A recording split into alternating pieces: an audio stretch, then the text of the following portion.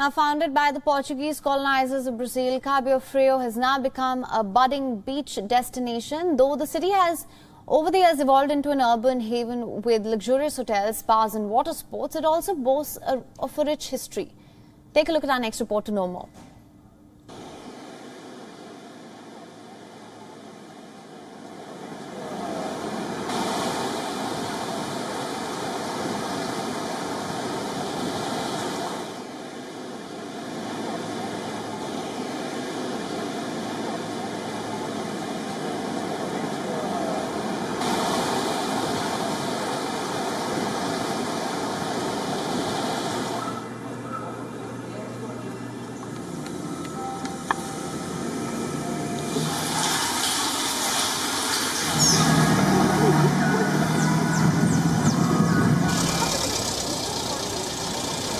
Essa região aqui é uma das mais piscosas, de maior ocorrência de peixe em todo o litoral brasileiro. Tem uma cadeia produtiva setorial pesqueira extremamente importante, que oferta proteína de fácil digestibilidade para toda a população, não só do Brasil, como exportamos peixes também.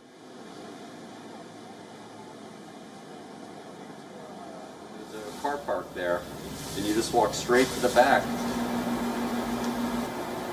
Ponta Lagoinhas for me is uh, one of the most spiritual places you can find in Buzios. It's uh, the location of what was the, uh, the equivalent of the Himalayas here in Brazil 500 million years ago. Um, geologists have identified this as being a location that was connected to Angola in Africa years ago when the continents were connected and the power of nature separated them apart, but this is what remains. WION is now available in your country. Download the app now. Get all the news on the move.